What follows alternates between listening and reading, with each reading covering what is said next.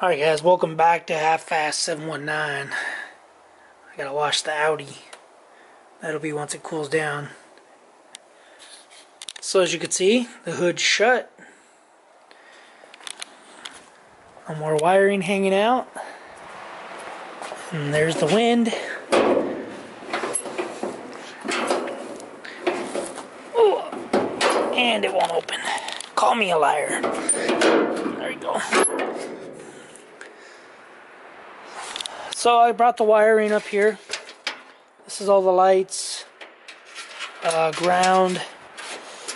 Um, basically, I'm probably going to end up running it right in this general area. So um, I'll make a wire loom and uh, yeah, go from there. So the wiring comes in. These are all the headlights, wiring, headlights, blinkers, whatever. Um, we got this wire coming from there. Uh, we got a ground, just a temporary ground, nothing crazy. This, I think, is for windshield washer fluid. Um, it's a dome light, a little, little light. Uh, I got this zip tied.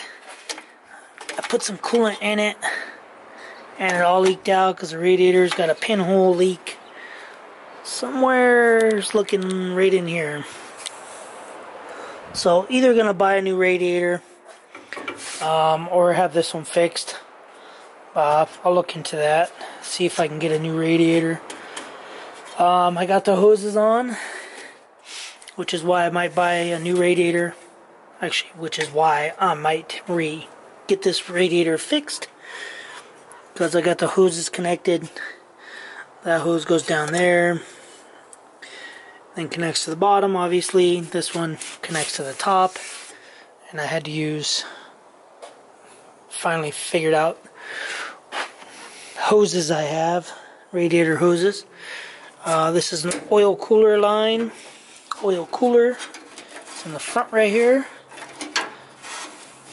Right down there, it's from a Dodge transmission.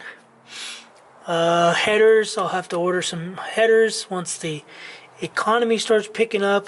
The plan is to order headers uh, for this and delete all the emission stuff. I already got rid of the emissions, the smog pump. Um, have to run AC stuff. Basically, I'm just mocking everything up. Um,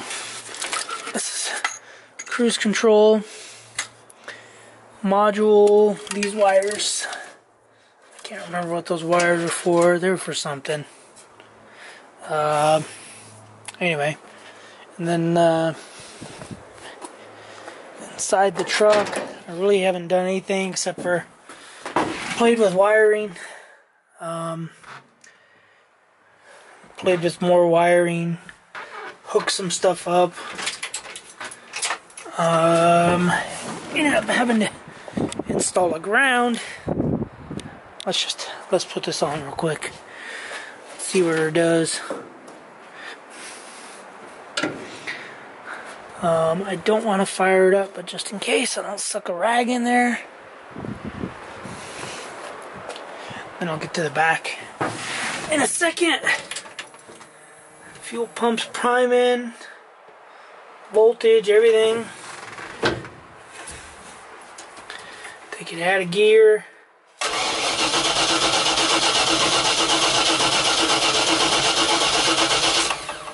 It's out of fuel.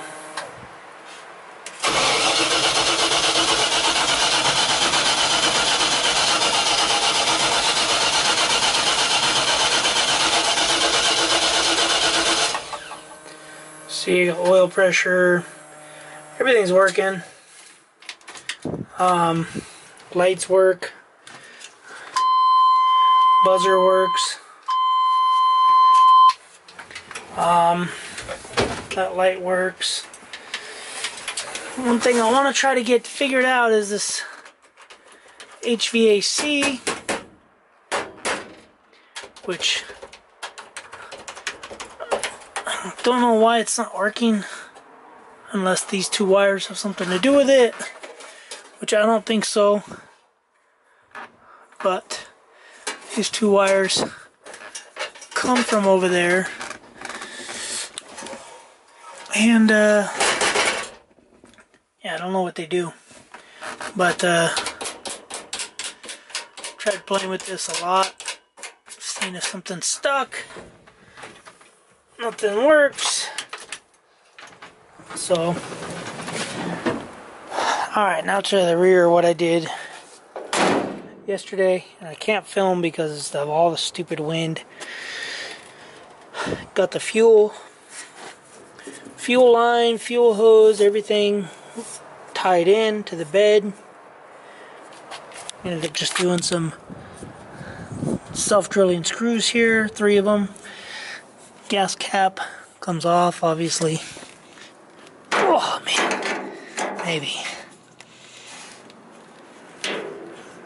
Maybe I'm not supposed to have it that tight. But anyway, I got this screw that I'll have to grind off.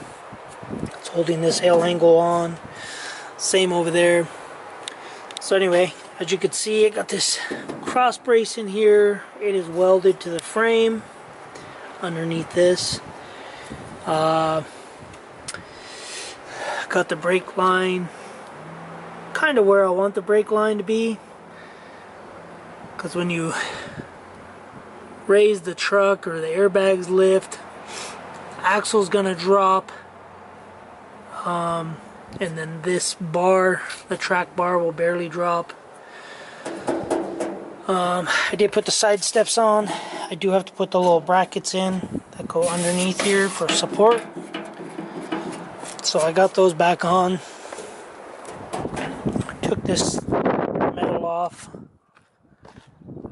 um, I got this side step on, same thing. Need to put the bracket on. Um, and then once I get this piece here situated, um, I think I'll be done mocking up the bed. Uh, I gotta weld in a plate. I don't know what I'm gonna weld in here. If I'm gonna stick that steel back in there and weld it in there just tack welded, I guess. And uh, yeah, adjusted the the hood and uh, got this bracket bolted in. For the most part, I probably could drive this truck. Um, I don't want to until I get the airbag situation set up. So, anyway, I do want to try to get this lined up here. So this will have to go in, obviously. I think I got shims in here. So I'll have to push this that way and the hood. If you could see the hood sits a little tall. So I'm going to have to probably flare it out. You know, hood sits like this. I'm gonna have to expand it out. But overall, um, I think the body line's kind of good. It's hard to tell with the hood, but I'm I'm matching the door, the door and everything.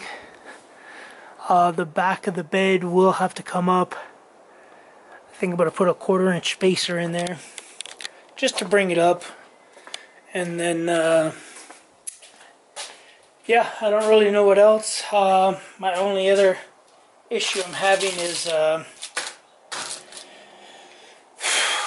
is uh, yeah uh, I bought a new Apple iPad Pro 12.9 inch blah blah blah wah wah wah. And uh, I gotta say it doesn't I'm doing something wrong. I know I'm doing something wrong because it should be better than my Surface Pro, but for some reason it's not. I cannot get it to be better than my Surface Pro, and uh, I'm kind of dreading buying it because, or not dreading buying it, regretting buying it because um, I don't I don't know how to use it.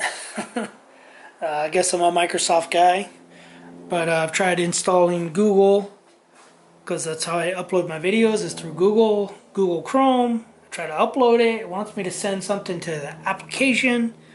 Well, it's not a Apple desktop, so I can't send it to an application.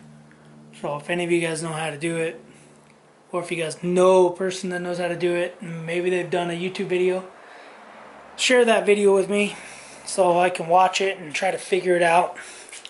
Um, but anyway, for the most part, uh, that's the other thing is recording video on this camera. Um, I have to open the video and then share the video to it as opposed to just opening it, you know, grabbing the video and dropping it into like iMovies. It's kind of a pain. Um, definitely work in progress. I'm trying to figure it out. But anyway, guys, that's gonna be it for this video. Um, trying to trying to get some motivation to get Project Crack Pipe going. Um, but yeah. So the bed, the body, like I said, the cab does have to go back about an inch, inch and a half. And uh, I do have all the suspension parts for it right here, all the ball joints, control arm, outer tie rod ends. I have all that stuff sitting in a box. Um, but for now, that's it. That's all I can do right now. So, anyway, guys, sorry for the lack of content. Like I said, it's been windy, and uh, really can't film or do anything when it's windy because can't hear me, which some of you probably would like, and uh, you would just hear wind noise. And uh, if you guys like that, then let me know, and I'll record it out there in the wind. Um, but anyway, all right, guys, let me know if you guys are excited to get this thing going. So, alright guys, thanks for watching. Comment, subscribe, do what you guys do. Later.